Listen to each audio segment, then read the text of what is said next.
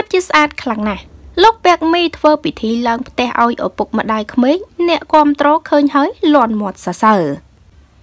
ប្រិមិត្តបានជ្រាបរួចមកហើយថាលោកពាក់មីគឺជាតារាកំ pl ែងដ៏ល្បីមួយរូបនៅប្រទេសកម្ពុជាដោយឈរជើងលើវិថីសិល្បៈអស់រយៈពេលប្រមាណ10ឆ្នាំមកហើយក្រោយពីវិវត្តខ្លួនពីកម្មករសំណង់នោះបើទោះបីពេលនេះនាយពាក់មីមានកេរ្តិ៍ឈ្មោះល្បីល្បាញលើវិថីសិល្បៈក៏ពិតមែនតែនាយមិនដែលភ្លេចកំណត់របស់ខ្លួនឡើយ ហើយភរិយាដែលកំសត់កំរជាមួយគ្នានោះក៏នាយតែងតែថតរូបបង្ហោះនិងបញ្ជាក់ពីជំហរនៃក្តីស្រឡាញ់របស់ខ្លួនមិនដែលប្រៃនោះដែរ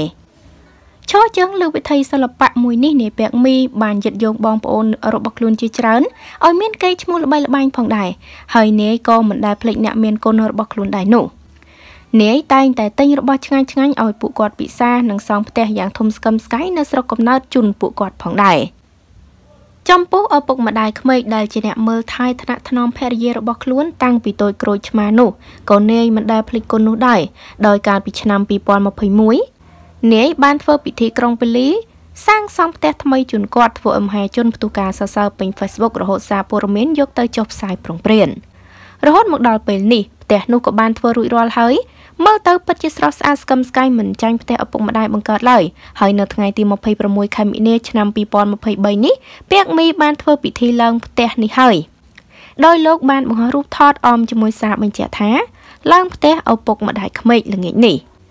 តាមរយៈការបង្ហោះនេះអ្នកគាំទ្រក៏ចូលទៅ comment សរសើរដល់ទឹកចិត្តរបស់លោកពាក់មីខ្លាំងមែនទែនជាពិសេសផ្ទះដ៏ធំស្កឹមស្កៃនេះមើលទៅពិតជាធំស្រស់ស្អាត រៀបចំបានយ៉ាងល្អក្បូរក្បាច់រចនាបែបខ្មែរហើយការចំណាយនោះក៏មិនមែនតិចនោះដែរចាផ្ទះនេះគឺពិតជាស្រស់ស្អាតខ្លាំងមែនទែនធំស្កឹមស្កាយគូឲ្យចង់រស់នៅ ជាពិសេសនោះគឺមានក្បូរក្បាច់រចនាមើលទៅបែបខ្មែរតែម្ដងនេពាក់មីក៏ពិតជាកតញ្ញូខ្លាំងមែនទែនធ្វើផ្ទះឲ្យឪពុកម្ដាយបង្កើតហើយពេលនេះធ្វើឲ្យឪពុកម្ដាយក្មេងទៀតសុទ្ធតែស្រស់ស្អាតដូចគ្នា ចាអរគុណច្រើនប្រិមត្តទាំងអស់គ្នាតេតងនឹងព័ត៌មាននេះដែរក៏សូមបញ្ចប់តែត្រឹមនេះសូមអរគុណសូមគោរពលា